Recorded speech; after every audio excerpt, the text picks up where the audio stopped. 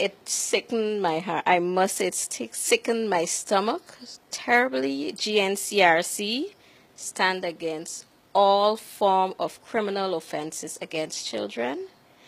This this is something that is really horrifying, and I'm really saddened to see that it's on social media. It's a criminal offense, and we stand against all forms of criminal offenses against our nation's children. MTV News showed the video to some Grenadians, and from their facial expressions, you can tell they are in disgust. Here are some reactions.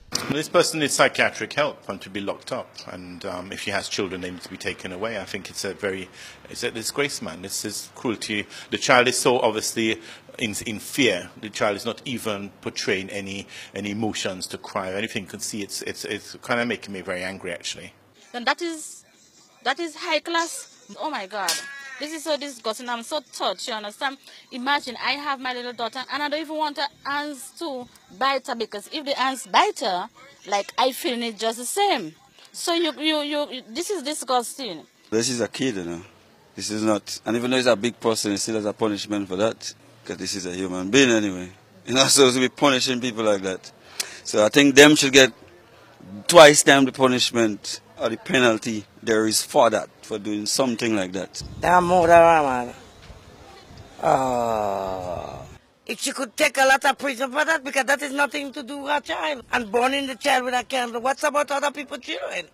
So the law have to take steps. Earlier today, officers attached to the St. Paul's police station were out searching for the young lady in the video committing the heinous act. She was identified as Keisha, and while we are concealing her identity until charges are laid, MTV News was able to obtain this picture of the alleged perpetrator. Charges are expected to be laid in a matter of hours. Situations like these, they occur once in a while, and one is too much, too many for us to have to handle. Any offense against a child is considered serious. And what we're seeing here is not something on YouTube. It is a real case that we are investigating. The mother of the, the child in the video has since been interviewed. A statement was taken from her. We have the the child protection authorities are also with us on this and the matter is, is really as I said aggressively investigated and we are hoping with some levels of progress to bring somebody into some state of justice very soon. Reporting for MTV News, I am Tonya St. Louis Lawrence.